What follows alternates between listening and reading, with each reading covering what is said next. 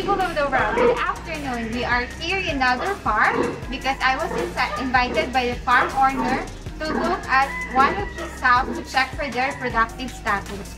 I'm now here with my handheld ultrasound and of course my bottle of ultrasound gel to check this cow. Come, join me.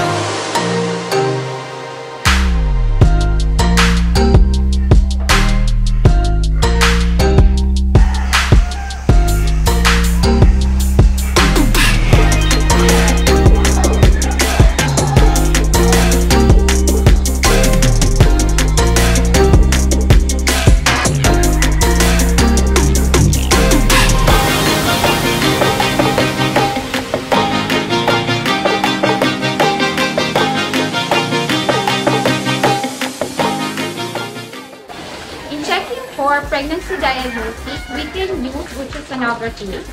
For swine, either we can use transrectal linear probe for the ultrasound or like what I'm about to use here, which would be the abdominal approach using a convex probe for our ultrasound.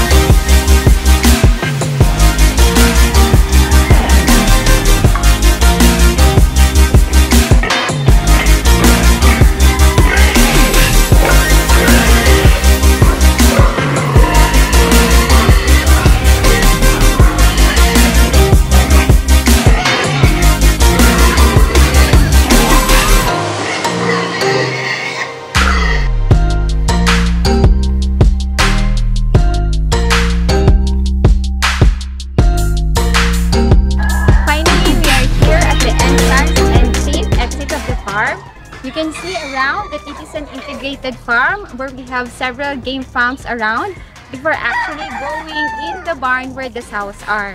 You have witnessed that this is a common setup of a smallhold facility where we have several animals housed in one particular location. And you have also witnessed that even a small farm can actually think of hiring a veterinarian in doing ultrasonography. So it's not really about the expenses, it's about the efficiency.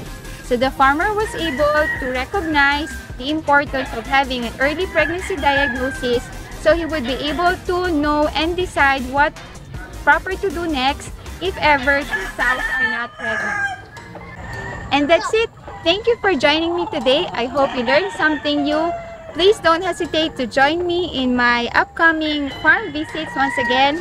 Please don't forget to subscribe to my channel. Please don't be shy to hit the notification button. Please of course like, comment, and share this channel.